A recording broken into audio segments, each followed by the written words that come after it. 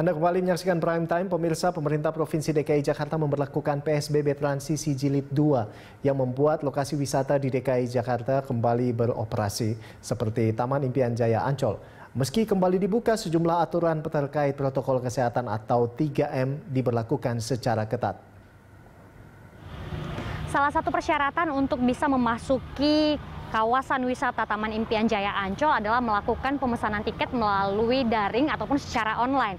Dan tadi di gerbang utama kita sudah diarahkan untuk melakukan ataupun men-scan barcode yang tersedia.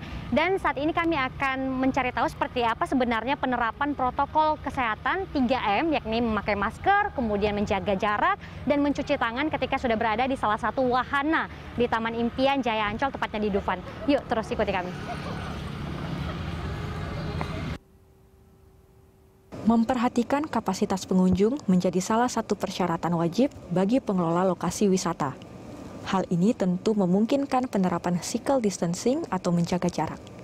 Departemen Head of Corporate Communication PT Taman Impian Jaya Ancol, Rika Lestari menyatakan di PSBB Jilid 2 ini ada sekitar 7.000 pengunjung yang datang sejak dibuka kembali per tanggal 12 Oktober 2020.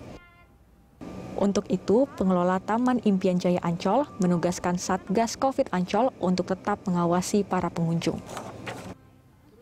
Kami memperkirakan kalau untuk angka 25% dari kapasitas Ancol itu eh, sekitar 32 ribu pengunjung uh, yang memasuki kawasan Ancol itu sudah memenuhi uh, kuota 25%. Namun demikian kalau seandainya uh, selama ini yang realisasinya adalah itu masih jauh ya. Jadi masih sekitar di bawah uh, sekitar 10%. Yang pertama adalah kami mempersiapkan komunikasi mulai dari media sosial, kemudian papan-papan spanduk dan juga uh, sound area. Jadi selalu kami ingatkan melalui sound area di seluruh kawasan Ancol untuk menerapkan 3M yaitu yaitu menggunakan masker, menjaga jarak dan juga mencuci tangan dengan air dan sabun. Namun demikian juga kami e, mempersiapkan ada satgas COVID yang memang berpatroli di seluruh kawasan Ancol. Tugasnya adalah memantau aktivitas pengunjung lalu memberikan edukasi dan himbauan jika memang ada yang e, sekiranya melanggar protokol kesehatan. Iya, baik terima kasih.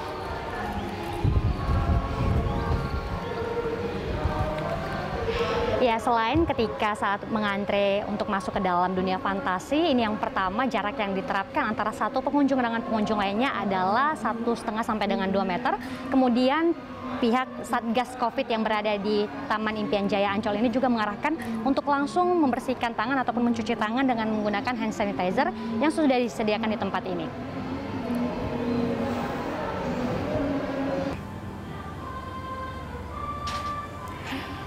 Ya, ketika para pengunjung ingin mencoba wahana yang berada di dunia fantasi, yang pertama mereka harus dipastikan menggunakan masker. Kemudian sebelum masuk ke wahana, ini juga wajib mencuci tangan.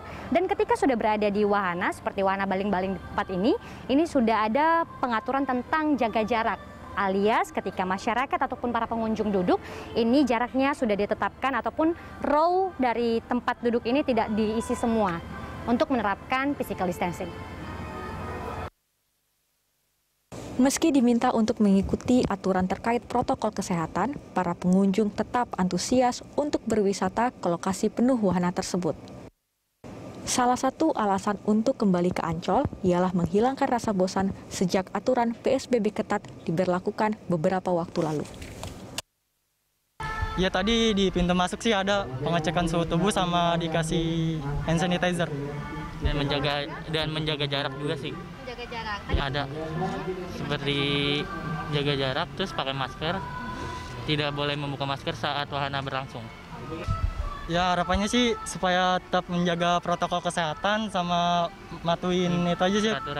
Peraturan. Oke Rangga juga? Iya setiap orang harus menyadari perannya masing-masing sebagai agen untuk memutus mata rantai penyebaran COVID-19 dengan menerapkan protokol kesehatan yang ada, di mana pun berada, termasuk di lokasi wisata. Irahulu Adini Anissa, Berita 1, Jakarta.